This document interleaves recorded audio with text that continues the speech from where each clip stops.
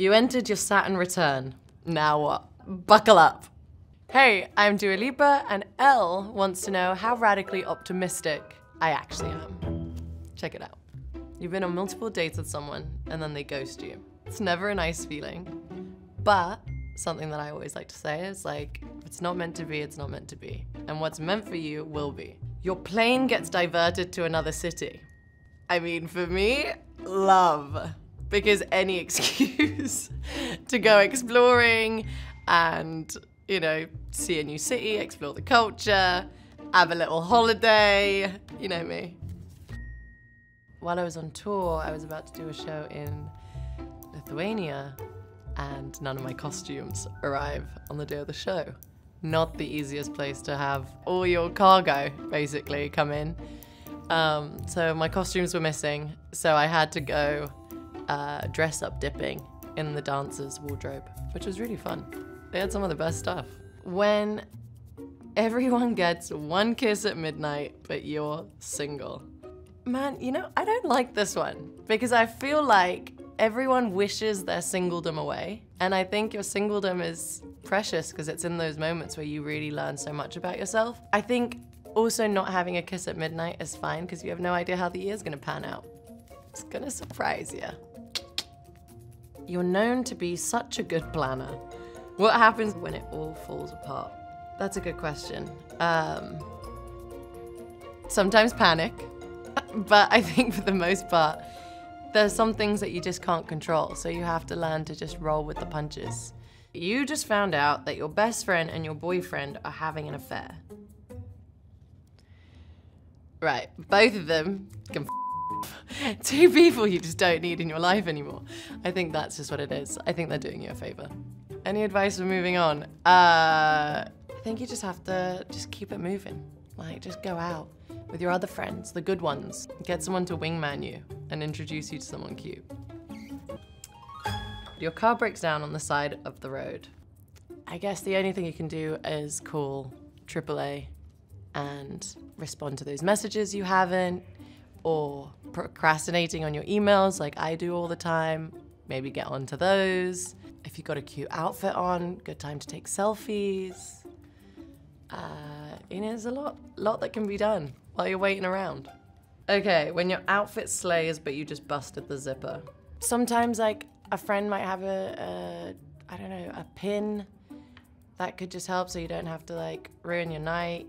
Or sometimes an earring works to just like clip it back together to just keep you going. Sometimes it doesn't even matter. Maybe you don't, uh, you know, it doesn't really ruin your vibe. I've had uh, many a wardrobe malfunction. It was like my first ever support show was a Lollapalooza Chicago like um, pre-show, and I was supporting the 1975, and I was wearing this oversized jumper, and underneath I just had like bra and pants, and I decided to put my mic pack I don't know why on earth I thought that it would hold. and so I was performing and dancing, and my knickers were starting to fall. So as I was dancing, I was like, pulling my pants. um, I managed to get through the show um, somehow without them falling down to my ankles. But lesson learned. I don't know why I didn't use a strap or something. Uh, rookie, rookie error. You just found out your best friend is moving halfway across the world. I think, you know, everyone has their own path and their own journey, and I think you have to be so supportive of that. You know, it's also exciting. It means that your friend's gonna go and explore a new place, and you get to go and visit them, and there's nothing quite like being shown around a place with a local. You're hosting a dinner party, and everyone shows up early. I love throwing a dinner party very rarely does everyone show up early. But when they do, it's great because then you get an extra pair of hands. I have somebody helping me set the table while I'm checking on everything that's happening on the stove or in the oven, or I get somebody on the music, you know? It's, uh, it's great because then it becomes like teamwork. You entered your Saturn return. Now what? Buckle up. Cause it's, uh, it's, it's a ride. It's a ride it's fun and it's amazing and terrifying and it definitely kicks you out of your comfort zone and puts a lot of things into perspective and shows you what you don't need and shows you what you need. And I'm doing a lot of, a lot of growing and learning and expanding. I do love astrology. I'm a Leo. My rising is a Gemini, and my moon is a Cancer. Make of that what you will. You find yourself in a string of bad dates. What do you do? I don't know. I think the best way is just like friend friendly recommendation, because then it comes from a reliable source. You're not just kind of going, you know, in it blind. I think that's the best way to to meet someone. So just keep going. Don't lose hope. You're swimming in the ocean and see a shark nearby. Relax. It's fine.